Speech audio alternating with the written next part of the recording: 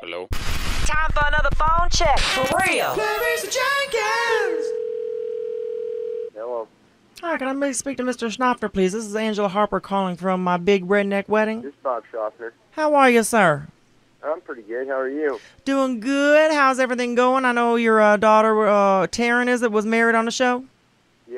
So uh, we want to have you on uh, a, a- pilot episode. Um, we're thinking about doing a show based on uh, redneck fathers, Yeah. and we want to see if you could do some things for us over the phone. Okay. Uh, can you give us a hog call? A hog call? Yes, sir. Epic.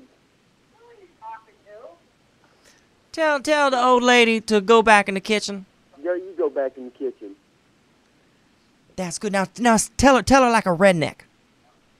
Y'all go back in the kitchen, woman. Tell tell her tell her if the laundry ain't done by midnight, you're gonna uh put her outside in in a chain. The laundry ain't done by midnight. I'm gonna put you outside on the chain. All right, now tell her go, uh, woman. Uh, I want you to go to Walmart and get me some bacon and some Golden Grahams right quick. Woman, I want you to go to Walmart and get me some bacon and some Golden Grahams right quick. I'm gonna kick you in the balls if you don't leave me the f- alone. Woman, I just went to the bathroom. Go flush it for me. Woman, I just went to the ba- bathroom. Go flush it for me. Go flush it yourself, or I'm gonna steal your chewing tobacco. Now I'm gonna go to the bathroom, take a big. Who's Taryn McQuaid? Aaron's my daughter. Tell her uh, that you just been phone checked. I've just been phone checked.